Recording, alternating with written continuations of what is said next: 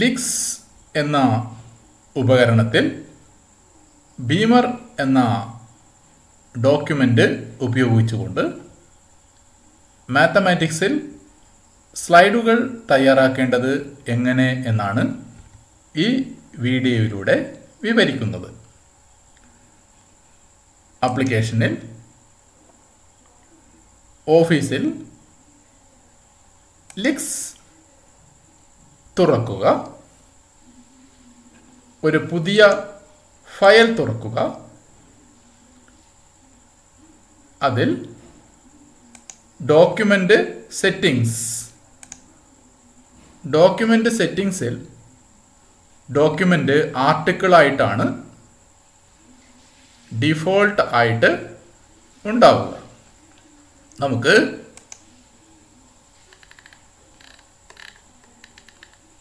Beemer എന്ന presentation document ആണ് തയ്യാറാക്കേണ്ടത്. ബീമർ തിരഞ്ഞെടുക്കുക. അപ്ലൈ കൊടുക്കുക. ക്ലോസ് ചെയ്യുക. നമ്മുടെ ഡോക്യുമെന്റിന് ഒരു ടൈറ്റിൽ ആദ്യം കൊടുക്കുക.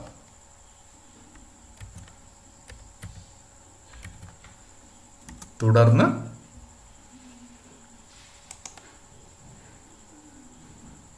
ആവശ്യമെങ്കിൽ ഒരു സബ് ടൈറ്റിൽ കൊടുക്കുക.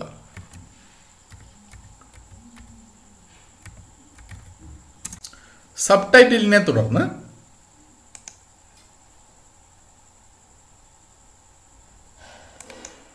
ഈ പ്രസന്റേഷൻ തയ്യാറാക്കുന്നയാളുടെ പേര് വേണമെങ്കിൽ അവിടെ ചേർക്കാവുന്നതാണ്.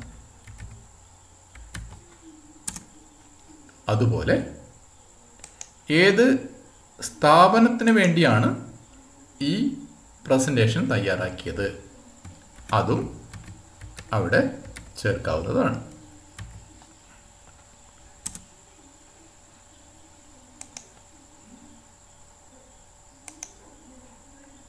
ഡോക്യുമെന്റ് തയ്യാറാക്കിയ തീയതി അവിടെ ചേർക്കാവുന്നതാണ്.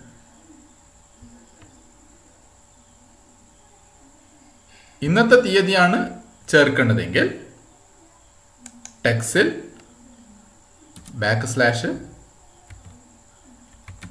ടുഡേ എന്ന് കൊടുത്താൽ മതിയാവും. ഇത്രയും കൊടുത്തു കഴിഞ്ഞാൽ നമ്മുടെ പ്രസന്റേഷന്റെ ടൈറ്റിൽ പേജ് ഇങ്ങനെയാണ് കാണാൻ സാധിക്കുന്നത്. ഇത് മിനിമൈസ് ചെയ്യുന്നു. കുറച്ചുകൂടി നമ്മുടെ പ്രസന്റേഷൻ ആകർഷകമാകാൻ നമ്മൾ സെറ്റിങ്സിൽ ലേറ്റക്സ് പ്രിയാമ്പിൾ നമ്മൾ അവിടെ യൂസ് തീം അവിടെ നമ്മൾക്ക് ലഭ്യമായ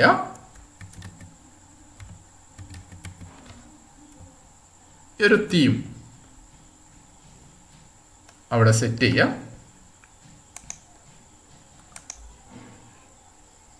ഇനി നമ്മൾ ഇതിന്റെ പി ഡി എഫ് നോക്കിയാൽ കുറച്ചുകൂടെ ഭംഗിയുള്ള ഒരു പ്രസന്റേഷനാണ് നമ്മൾക്ക് തയ്യാറായി കിട്ടുക.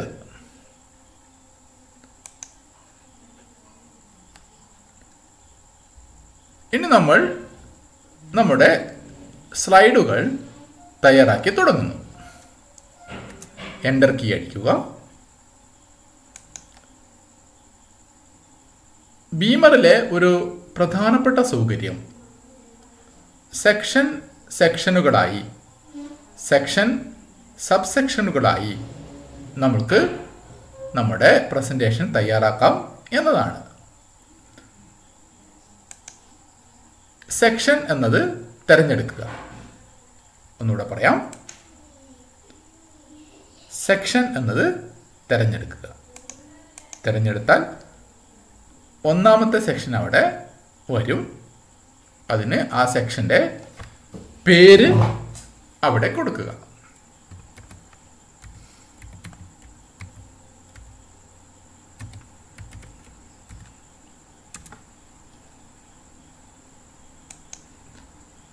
നമ്മുടെ രണ്ടാമത്തെ സെക്ഷനായി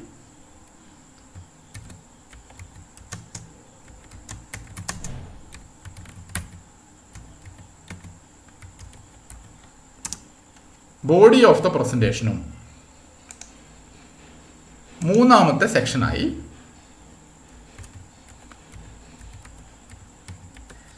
കൺക്ലൂഷനും നമ്മൾ ആദ്യമേ സെറ്റ് ചെയ്യുന്നു. ഇനി ഇൻട്രൊഡക്ഷൻ എന്ന സെക്ഷനിൽ നമ്മൾ ആദ്യത്തെ ഫ്രെയിം തയ്യാറാക്കുന്നു. ഫ്രെയിം ഈ ഫ്രെയിമിന് നമ്മൾക്ക് ഒരു പേര് കൊടുക്കാവുന്നതാണ്.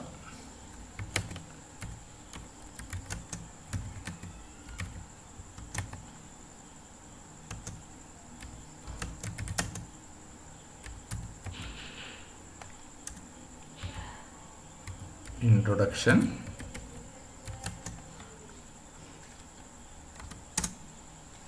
എന്റർ കീ അമർത്തുക. നമ്മൾ ഐറ്റമൈസ്ഡ് ലിസ്റ്റ് ഉപയോഗിച്ചുകൊണ്ടുള്ള ഒരു ഫ്രെയിമാണ് ആദ്യം തയ്യാറാക്കുന്നത്. അവിടെ തിരഞ്ഞെടുത്താൽ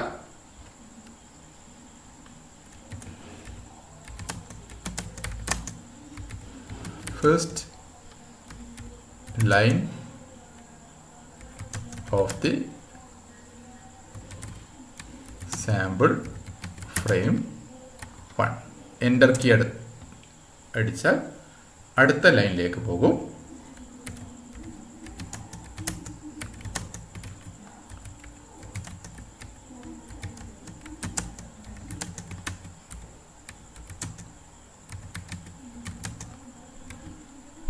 വീണ്ടും എന്റർ കീ അടിക്കുന്നു. അടുത്ത ലൈനിലേക്ക് പോകുന്നു. This is the third line of the sample frame one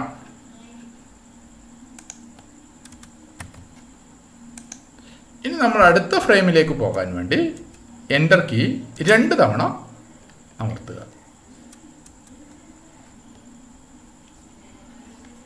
അപ്പോൾ അവിടെ ഒരു ഒറിസോണ്ടൽ ലൈൻ പ്രത്യക്ഷപ്പെടും. നമ്മൾ ഇനി അടുത്ത ഫ്രെയിം തയ്യാറാക്കുന്നു. വീണ്ടും frame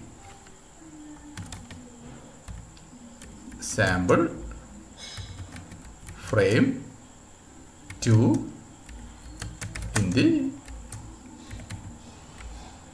introduction നമ്മളിവിടെ നമ്പേർഡ് ലിസ്റ്റ് ഉപയോഗിച്ചുകൊണ്ടുള്ള ഫ്രെയിമാണ് തയ്യാറാക്കുന്നത്. This is the first line of the sample frame two enter key അടിച്ചാൽ രണ്ടാമത്തെ നമ്പർ അവിടെ പ്രത്യക്ഷപ്പെടും. This is the second line of the sample frame 2 enter key അടിച്ചാൽ അടുത്ത ലൈനിലേക്ക് പോകുന്നു. This is the third line of the sample frame 2 enter ഒരു enter കൂടി. ഒരു എന്റർ കൂടി അടിച്ചാൽ ആ ഫ്രെയിം പൂർത്തിയാവും. ഇനി നമ്മൾ ബോഡി ഓഫ് ദ പ്രസന്റേഷനിൽ ഒരു ഫ്രെയിം തയ്യാറാക്കുന്നു. Frame sample frame one in the body. Enter key അടിക്കുക. നമ്മൾ മൂന്നാമത് തരത്തിലുള്ള ഡീഫോൾട്ട് ആയിട്ടുള്ള ഒരു ഫ്രെയിമാണ് ഇവിടെ തയ്യാറാക്കുന്നത്.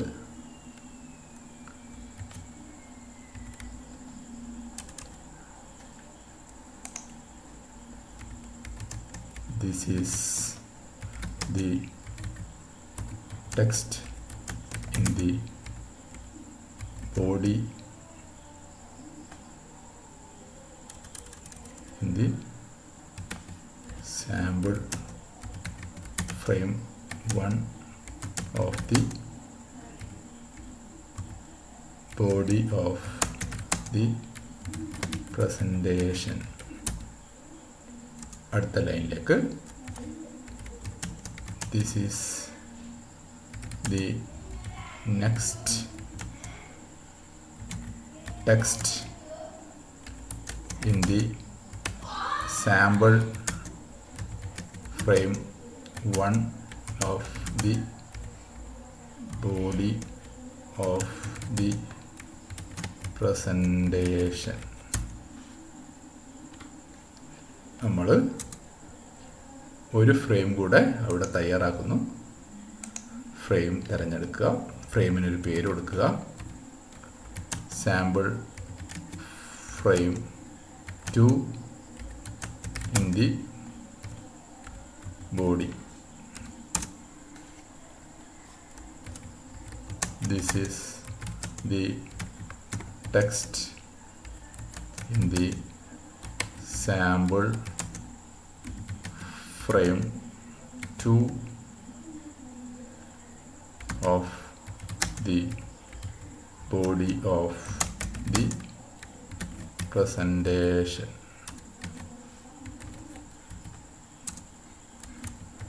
This is the next text.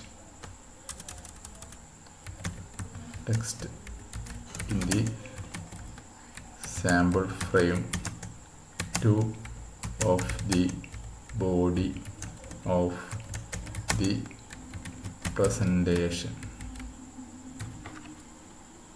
നമ്മളിനി കൺക്ലൂഷൻ ഭാഗത്തെ സ്ലൈഡാണ് തയ്യാറാക്കുന്നത് frame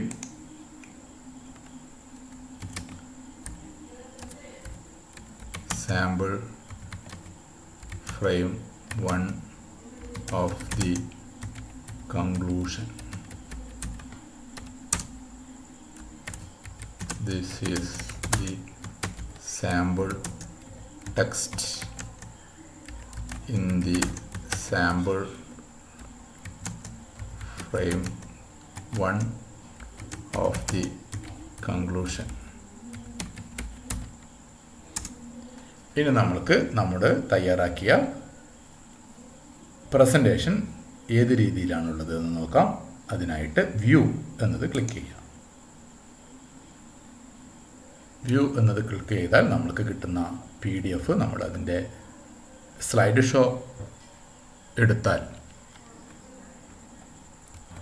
അതിങ്ങനെ ലഭിക്കും. അതിൽ നമ്മൾക്ക് introduction body of the presentation conclusion എന്നത് നമ്മൾക്ക് ഇങ്ങനെ കാണാൻ സാധിക്കും. അത് നമുക്ക് ഓരോന്നോരോന്നായി സെലക്ട് ചെയ്യാനും സാധിക്കും. ഇൻട്രൊഡക്ഷനിലെ രണ്ടാമത്തെ പേജ് കിട്ടാൻ വേണ്ടി നമ്മൾ ആരോ കീ അടിക്കുന്നു. ഇത് നമ്മൾക്ക് ഒന്നാമത്തെ ഫ്രെയിമിലെ ടെക്സ്റ്റുകളാണ് രണ്ടാമത്തെ ഫ്രെയിമിലെ ടെക്സ്റ്റുകളാണിത്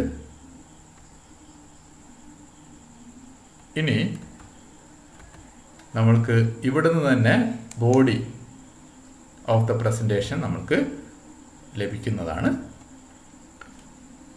ബോഡി ഇൻട്രൊഡക്ഷനിലേക്ക് വേണ്ടി ഇൻട്രൊഡക്ഷൻ ആദ്യത്തെ സ്ലൈഡ് ഇൻട്രൊഡക്ഷനിലേക്ക് ഇട്ടും. ഇവിടെ ക്ലിക്ക് ചെയ്താൽ ബോഡി ഓഫ് ദ പ്രസന്റേഷൻ കിട്ടും. ഇവിടെ ക്ലിക്ക് ചെയ്താൽ കൺക്ലൂഷനിലെ പ്രസന്റേഷനും ലഭിക്കുന്നതാണ്. നമ്മുടെ സ്ലൈഡിൽ സ്ലൈഡിന്റെ ടൈറ്റിൽ ഇവിടെ വരും. ഓദറിന്റെ പേര് ഇവിടെയും വരും. ഇങ്ങനെയാണ് ബീമർ ഉപയോഗിച്ചുകൊണ്ട് ഒരു പ്രസന്റേഷൻ തയ്യാറാക്കുന്നത്.